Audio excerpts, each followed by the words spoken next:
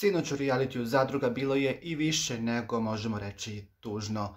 I vjerujemo da su i mnogi plakali uz Dejana s obzirom da je dečko lio suze zbog kraha svog braka sa Dalilom. Iako se vidi da on nju mnogo voli i vidi se da, da Dalila njega još uvijek na neki način voli, sinoć suze, udarci nisu bili ovaj izbjegnuti.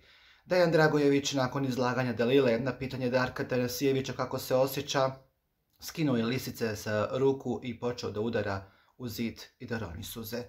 Jednostavno njemu je ovo sve vjerovatno i teško palo šta se sve dešava sa Dalilom i carem, a Dalila u emisiji rekla da je stavila tačku i da se osjeća kao slobodna žena. To je Dejana mnogo povrijedilo, mnogo pogodilo, pogotovo nakon svega što se dešava između nje i cara, Dejanu je prekipilo i počeo je da plače na sav glas. Tuga i bol se vidjelo na licu ovog, možemo reći, zaista, zaista predivnog momka koji je bio tu za nju, na neki način ovaj porodicu svoju ovaj, je i šikanirao i odrekao se sve zarade ljubavi koja na kraju očito nije uspjela.